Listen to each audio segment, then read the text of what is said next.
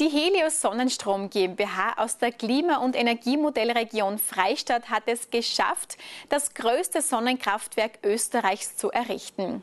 Wie das funktioniert und wer dahinter steht, sehen Sie jetzt. Das größte Sonnenkraftwerk Österreichs ist gleichzeitig das größte Kind, das der Energiebezirk Freistadt ins Leben gerufen hat.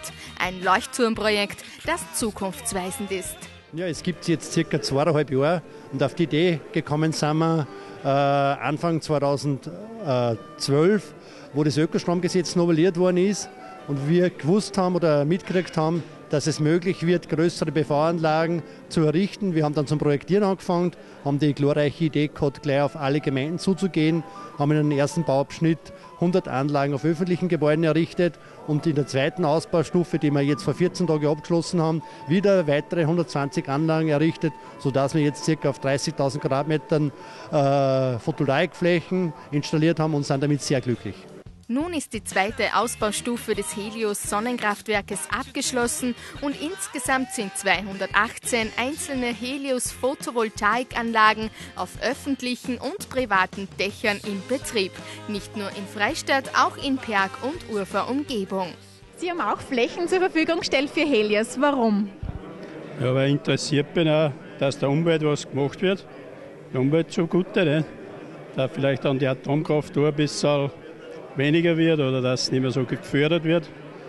Ja, weil wir erstens einmal davon überzeugt sind, dass das eine gute Sache ist und wir natürlich auch profitieren auf lange Sicht. Und wir haben durch Helios eine tolle Unterstützung gekriegt beim gesamten Projekt. Wir haben in der Zwischenzeit drei Projekte in Albendorf realisieren können, wobei ein Projekt mit 40 kW für die Gemeinde ist und zwar private und das ist natürlich eine tolle Sache und auch für die gesamte Entwicklung in der Auffassung für die Leute und für die weitere Entwicklung gerade in dem Bereich ganz ein wesentlicher Beitrag für die Zukunft. Ja, wir haben die Flächen zur Verfügung gestellt, weil wir für Naturstrom sind und das hat sich so ergeben, weil wir gerade eine neue Halle gebaut haben und durch das hat sich die Dachfläche da so ergeben. Wir haben ein super äh, landwirtschaftliches Gebäude dazu, also Stall, wo die Ausrichtung genau nach Süden passt und Neigung genau passt.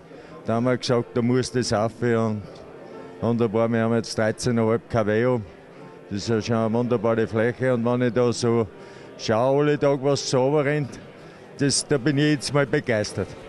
Und wer keine Dachflächen besitzt, die er mit Anlagen bestücken kann, konnte und kann sich noch immer in Form einer Bürgerbeteiligung am Sonnenkraftwerk beteiligen. Bis Ende des Jahres kann man sich noch Sonnenbausteine im Wert von 500 Euro sichern.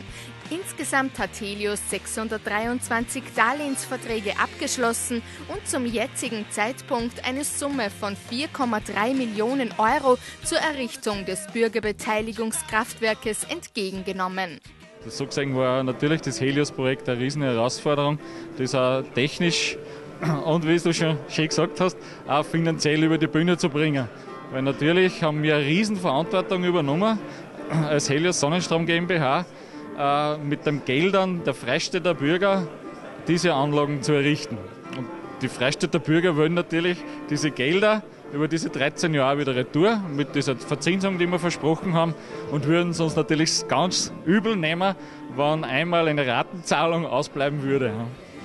Ein vorbildliches, einzigartiges Projekt, das größte Sonnenkraftwerk Österreichs, das mit einer Gesamtleistung von 4,3 Megawatt Peak und einem Ausmaß von 30.000 Quadratmetern Modulfläche fristgerecht ans Netz gegangen ist und reinsten Sonnenstrom produziert.